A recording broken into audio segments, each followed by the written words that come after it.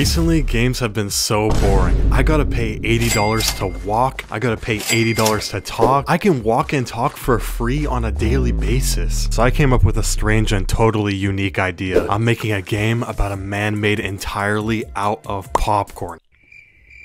I mean, how did I come up with this idea exactly? Well, I, I didn't. I kinda just use a random object generator to generate it because I'm kinda lazy and I need an idea for a game. I really just want to make a small random game to help me learn the Godot engine, so Popcorn it is. And for this game, I'm thinking like a top-down shooter because recently I've been playing Hotline Miami, and if you know Hotline Miami, you know it's a man that's shooting from a top-down perspective. What better way to start my journey than with a tutorial? I used the tutorial from the same guy I used it tutorial from in the last video, alright? Give them some love. I wanted to use the tutorial as the bones for my game because uh, I can't program, and then kind of build features on it. So far, all I've got is a basic top-down shooter. You can walk around, move your mouse, look around, shoot at the ops. That's pretty much it. The ops walk forward. It, it's kind of boring, and you know? It's, it's a basic tutorial game. So let's take this to the next level. So in a top-down shooter game, you're gonna need to manage through different weapons. And I was thinking I would do a different weapon system, kind of like Hotline Miami does it, where it's kind of like you don't really have your own weapon wheel per se. You kind of just kill people, take their weapons, kill other people, throw your weapons, pick up more weapons, kill more people. You know how it goes. So I thought, why not implement this into my top-down game? So I just went around for a couple hours, did a little bit of coding. I made an object pickup system. So if you walk up to a pickup, you can press E and pick it up and then shoot your heart's content. And then if you press Q, you can throw it or drop it. I didn't want to program the whole throwing system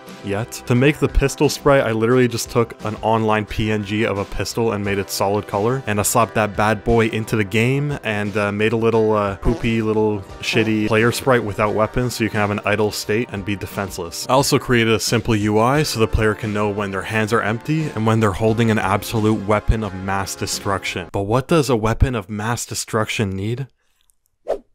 That's right, ammunition, right? You can't just be firing around all willy-nilly with infinite ammunition. There's just no stakes to that. So I created an ammo system that also saves when you drop a gun. So you can't be cheesing this. When you pick up a gun, it's got the ammo the enemy had. You shoot it away, drop it. You can't just pick it up and restore the ammo. Nah, bro, that's not how it works, you bad little boy. Okay, so now we have a very bare bones stripped down version of Hotline Miami, basically. I can basically put this on Steam. I mean, if you think about it, like, theoretically. Probably time for me to actually make some game graphics make the game a little bit spicier. I don't really know why, but for some reason I made the enemies construction workers. Well, actually I do know why. Probably because I need them to build the game for me while I can relax and enjoy the sun. I was also experimenting with making a crosshair, because you can't just have a mouse in the game, that's just unprofessional. Everybody hates mice, bro. Ah.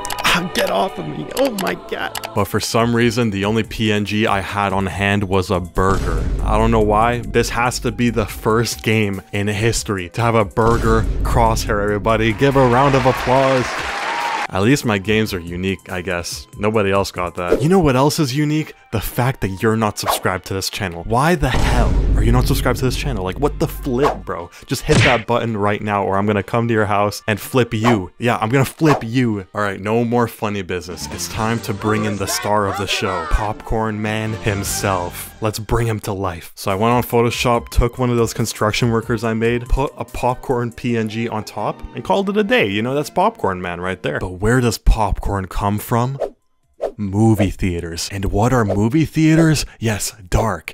And what's dark and gloomy? Halloween. What day is it? Halloween. What time is this video out? Probably after Halloween. So I was playing with the Godot canvas settings. You know, I made it all dark. I added some lights. I added a little flashlight to the character, made it all moody and aesthetic. My favorite change was I added some light and particle effects to the bullets. And oh my god, it looks so much better. Like it actually looks good. Like, like it just I feel the recoil when I'm clicking the mouse, you know what I'm saying? You might be thinking, this game might be a little bit bare bones. And you're right, that's because I spent over two days on a mechanic that didn't even make it. Rest in peace to the Butterball. You're never gonna know what it is, you don't deserve to know what it is, but rest in peace to the Butterball. Thank you for watching. I know this video is kind of short. Keep in mind, I was just learning Godot the past month. Next week, Monster Chef is coming back. I swear it's coming back and I'm reworking the whole game. So get ready for Devlog 2 of... 2 of Monster Chef. Thanks for watching. I'll see you next time.